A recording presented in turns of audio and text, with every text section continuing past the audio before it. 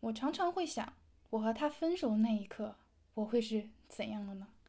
我会像艾利沃兹那样，在餐厅里完全不顾别人的看法，放声痛哭吗？还是像 Rachel 那样，在家里尝试去解决问题，试着去沟通，就算最后演变为更大的争吵？如果我是提分手的那个人，我也许会是《Uptown Girls》里的 Molly，帅气的走开；再或许是《Valley Girl》里的 Julie，把他拒之门外。但是我的人生。好似并不是电影。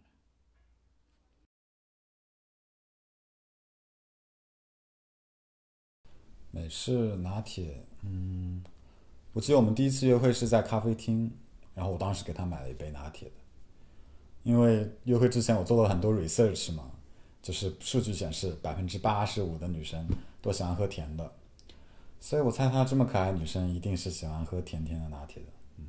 美式，我喜欢喝美式。他一直觉得我喜欢喝拿铁，那是因为我们第一次约会的时候，他擅自做主给我买了拿铁，而且还是那种加了焦糖口味糖浆的拿铁。就是我虽然不是很喜欢喝，但我也不想让他伤心，对吧？毕竟他也算是用心了。我当时就想，就喝个拿铁，就喝个拿铁呗，又能怎么样啊？结果没想到，从那之后，我喝了三年的拿铁。他这个人，真的就是他以为他知道我想要什么啊，他就是很倔又很自以为是。我真的觉得我是一个特别用心的男生。说实话吧，我觉得他再也找不到比我更用心的男生。我当时特别喜欢买了一杯咖啡，然后去接他放学嘛，而且每一杯都是充满惊喜的。比如说秋天的时候，我会买一杯 pumpkin spice latte；冬天的时候呢，我会买一杯软软甜甜的香草口味的拿铁。我甚至情人节的时候，我还专门找到一家卖玫瑰口味的。店，我当时给他玫瑰口味的拿铁的时候，你不知道他都有多开心。所以你喝过最难喝的是什么口味的？玫瑰口味拿铁吧，就真的很奇怪，那个味道奇怪到我不知道该怎么去描述。那你干嘛不告诉他你不喜欢呢？我当然有提醒过他，当时喝完那个拿铁之后，我跟他讲，这个拿铁喝的我真的很想哭。他特别的感动，你知道吗？他说他都要哭了。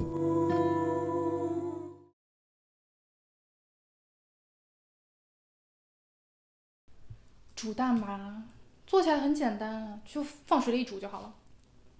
那你觉得他喜欢哪个？煎蛋，绝对是煎蛋，而且还是那种做的非常花里胡哨那种煎蛋。这就是我煎的鸡蛋，怎么样？好看不？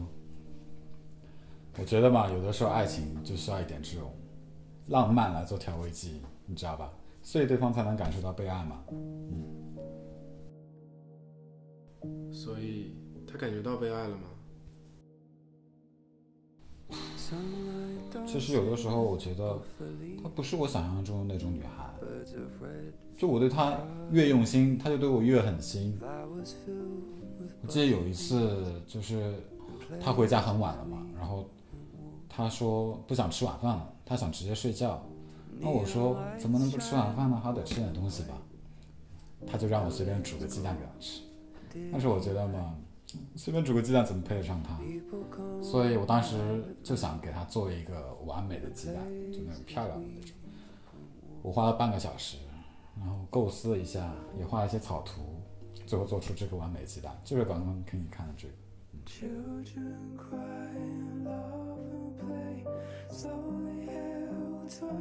那他应该很感动吧？其实看到这个鸡蛋的时候，我还是蛮惊讶的。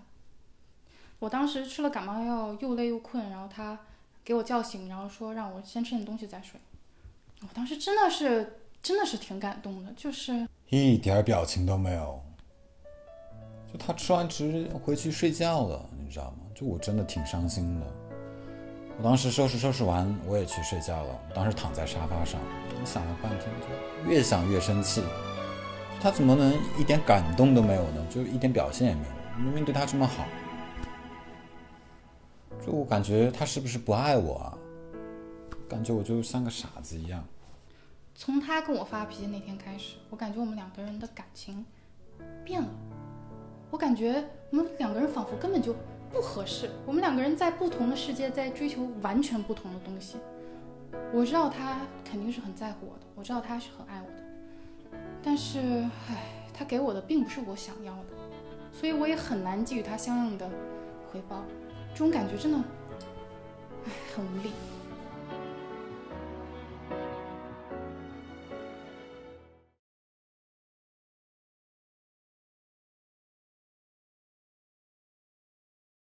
这是这是 Yuki，Yuki 来打招呼。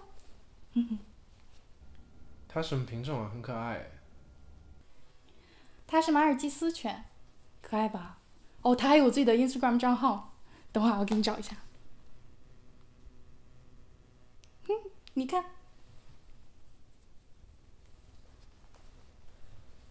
哦，这个照片不是。啊，对。其实 Yuki 是他送给我的礼物，是我俩交往一周年他送给我的。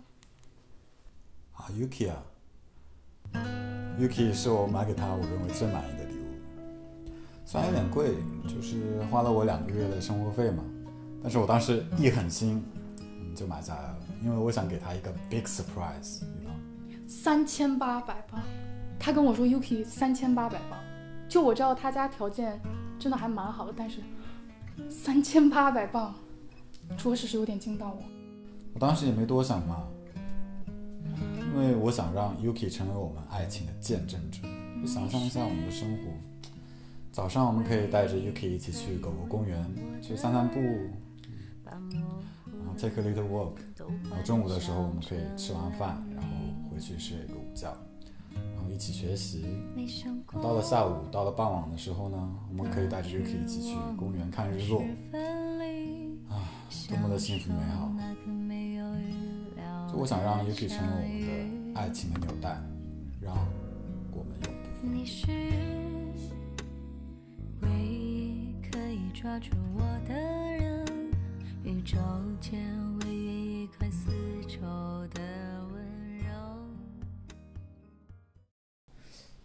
经济压力吗？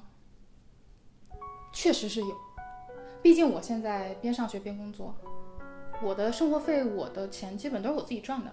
他跟我不一样，就他父母给了他太多经济上的支持了，所以他对花钱其实并没有什么概念。例如，他经常送我一些他觉得很好、很贵，但其实很没有用的礼物。那些礼物对我来说根本就没有什么意义的，他还不如帮我分担一部分房租呢。房租？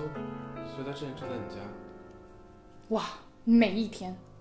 当时是因为疫情嘛，当时疫情，我想他住学生公寓也不是很安全，所以我就让他暂时先搬来我家住。结果没想到这么一来，他就没走过。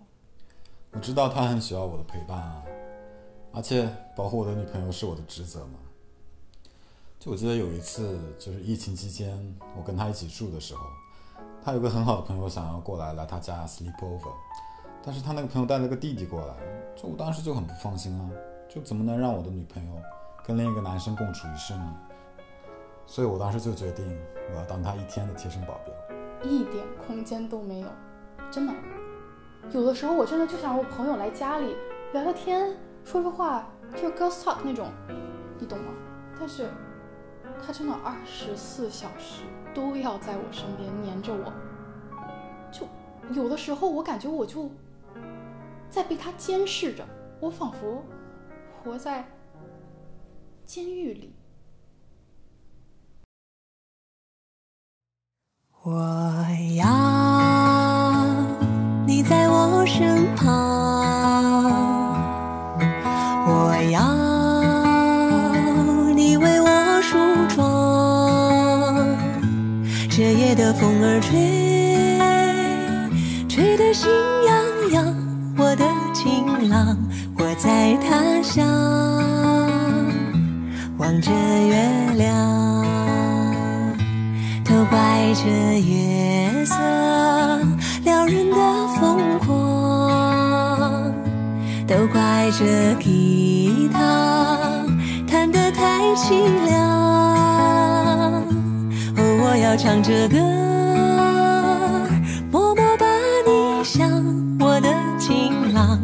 在何方？眼看天亮。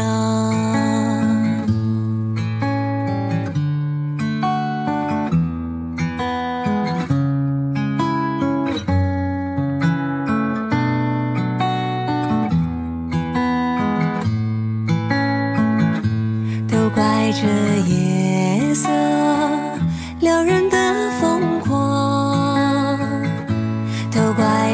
吉他弹得太凄凉。哦，我要唱着歌，默默把你想，我的情郎，你在何方？眼看天亮。